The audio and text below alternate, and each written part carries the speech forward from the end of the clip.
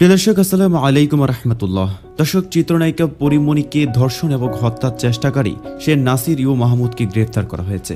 দর্শক, নাসির ইউ মাহমুদকে কোথায় থেকে এবং কীভাবে তাকে গ্রেফতার করা হয়েছে, তার সাথে কি পাওয়া গিয়েছে, তা আমরা এই রিপোর্টে তুলে ধরবো। দর্শক, গুরুত্বপূর্ণ এই রিপোর্টটি শেষ পর্যন্ত দেখতে আমাদের সাথে থাকুন।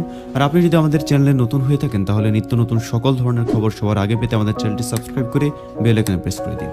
দর্শক, নায়িকা পরিমণিকে ধর্ষণ চেষ্টার ঘটনায় দায়ের করা মামলার প্রধান আসামি ব্যবসায়ী নাসির ইউ মাহমুদকে গ্রেপ্তার করা হয়েছে। ঢাকা মহানগরের গোয়েন্দা পুলিশ ও ঢাকা জেলা পুলিশের যৌথ অভিযানে তিনি গ্রেপ্তার হন। সোমবার দুপুর দুইটায় তাকে রাজধানীর উত্তরার নিজ বাসা থেকে গ্রেপ্তার করা হয় বলে জানা গেছে। মামলার পরই আলোচিত ব্যবসায়ী নাসিরকে গ্রেপ্তারে মাঠে নেমে পড়েছিল আইন প্রয়োগকারী সংস্থার সদস্যরা। অভিযান পরিচালনাকারী বিশ্বস্ত সূত্র বলছে পরিমণির অভিযোগের ভিত্তিতে আবাসন ব্যবসায়ী নাসির ইউ মাহমুদকে উত্তরার সেক্টর এক এবং বারো নম্বর রোডস্থ নিজস্ব বাসা থেকে গ্রেপ্তার করা হয়েছে। এই অভিযানে নেতৃত্ব দেন ঢাকা মহানগরের গোয়েন্দা পুলিশের উপকমিশনার। তবে ঢাকা জেলার পুলিশ সুপার মারুফ হোসেন সর্দার আমাদেরকে বলেন যে এই বিষয়ে আইনগত ব্যবস্থা নেওয়ার প্রক্রিয়া অব্যাহত আছে। তবে এসপির কথায় নাসিরকে গ্রেপ্তার করার ইঙ্গিত পাওয়া গেছে। নাসিরকে গ্রেপ্তারের বিষয়ে প্রশ্ন করা হলে এসপি বলেন, কাজ চলছে।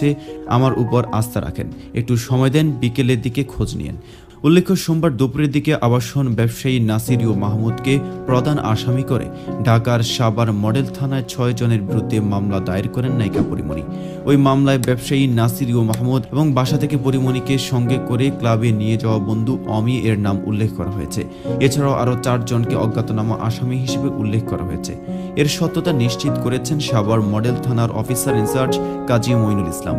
সোমবার দুপুরে সাভার সার্কেলের অতিরিক্ত পুলিশ সুপার আবদুল্লাহিল কাফি আমাদেরকে বলেন পরিমণির দেওয়া লিখিত অভিযোগ সাভার থানার আমলে নেওয়া হয়েছে। তিনি বলেন পরিমণির করা অভিযোগ আমরা গুরুত্বের সঙ্গে দেখেছি, শীঘ্রই তদন্ত কার্যক্রম শুরু করা হবে। এ মুহূর্তে এর বেশি কিছু বলা যাচ্ছে না। এর আগে রোববার তেরোই জুন রাত আনুমানিক সাড়ে দশটার দিকে রাজধানীর বনানীর নিজ বাসায় সাংবাদিকদের মুখোমুখি হয়ে ধর্ষণ চেষ্টার বিস্তারিত জানান ডালিউড নায়িকা পরিমণি তুলে ধরেন তার সঙ্গে ঘটে যাওয়া অনাকাঙ্ক্ষিত ঘটনার বিবরণ।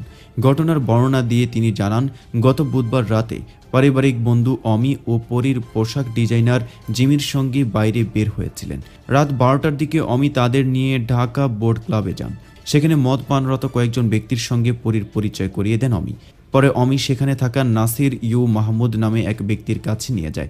সে সময় নাসির ইউ মাহমুদ নিজেকে ঢাকা বোর্ড ক্লাবের সভাপতি হিসেবে পরিচয় দেন।